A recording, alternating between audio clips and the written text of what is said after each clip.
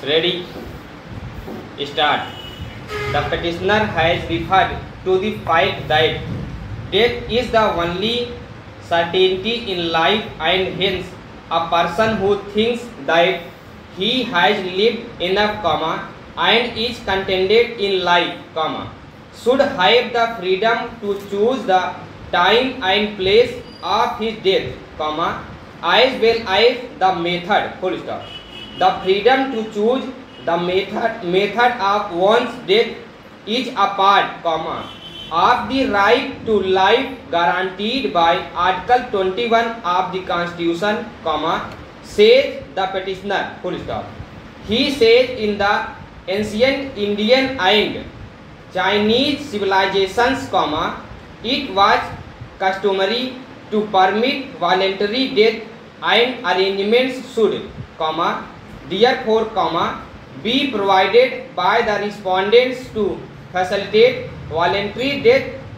cleaning, full stop. Petitioner proceeds to distinguish between a suicide which is committed by a person frustrated in life or unsuccessful in life and the right to voluntarily put an end to one's life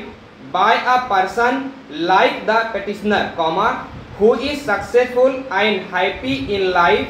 and had achieved his mission in life full stop para b that as it may full stop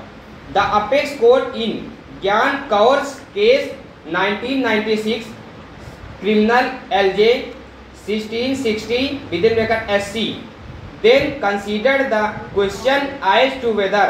The right to life would include the right not to live, comma, that is, comma, the right to put an end to, comma, or to terminate, comma, one's life, full stop. That was the basis on which the earlier decision in Rathinam's case 99,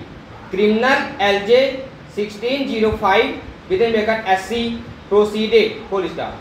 the court then distinguished the nature of rights under article 21 dealing with the right to life comma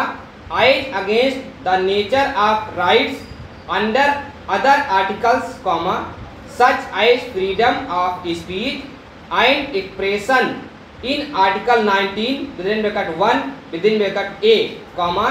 which includes the freedom not to speak semicolon freedom of movement in article 19 within bracket 1 within bracket d which includes the freedom not to move anywhere semicolon the freedom of practicing any profession or to carry on any occupation comma trade or business under article 19 within bracket 1 which includes the freedom not to do any business full stop the court then pointed out the falsely in the reasoning of the judgment of the bombay high court comma to which a reference was made in rathinam's case comma and came to the conclusion as under colon para when a man commits suicide he has to undertake certain positive overt acts and the genesis of those acts cannot be traced to comma or be included within the protection of the quote right to life unquote under article 21 full stop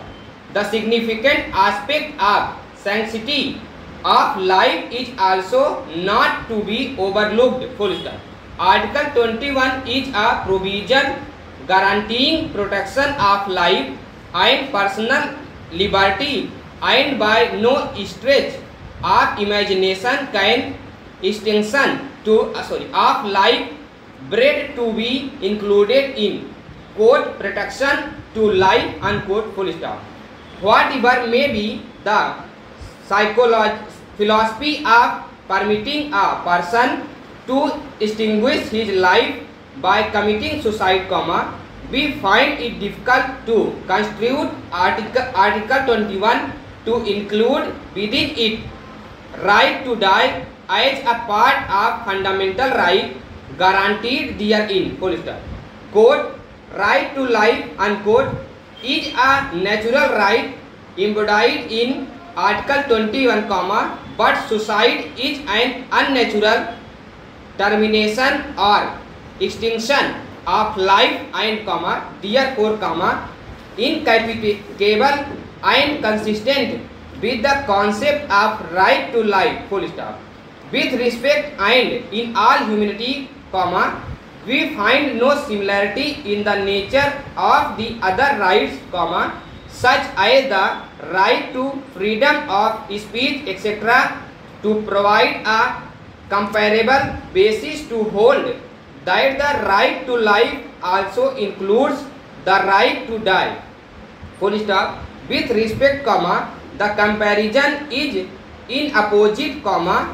of the region indicated in the context of article 21 full stop